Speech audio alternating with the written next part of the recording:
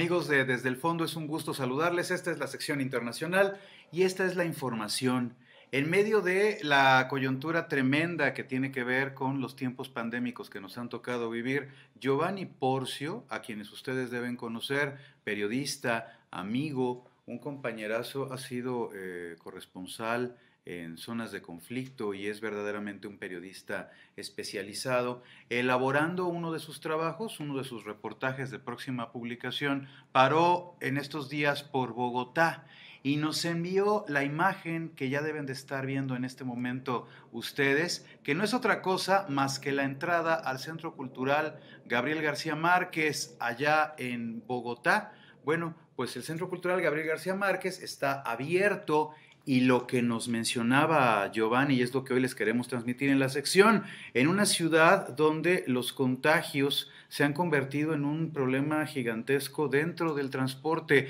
incluso al interior de los hogares colombianos. Eh, son contagios que se han dado entre familiares y un verdadero problema como de alguna manera, pues caray, lo estamos viviendo en distintas potencias en cada, en cada país del mundo. Fíjense, al día de hoy, coronavirus en Colombia, 2.202.000 contagios en el país.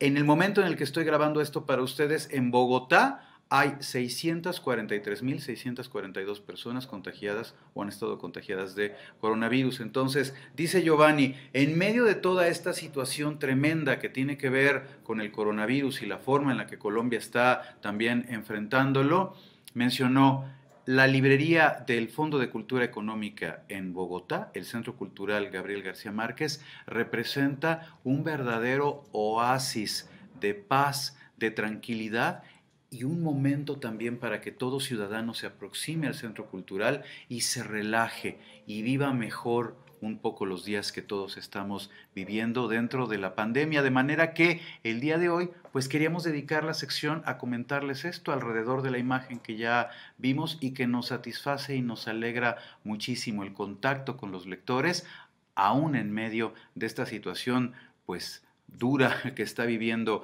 el mundo. Solo para completar la información, el Fondo de Cultura Económica, de quien le mandamos, a quien le mandamos un abrazo muy fuerte, es a Gabriela Roca, la directora de nuestra subsidiaria allá, se encuentra en la página fce.com.co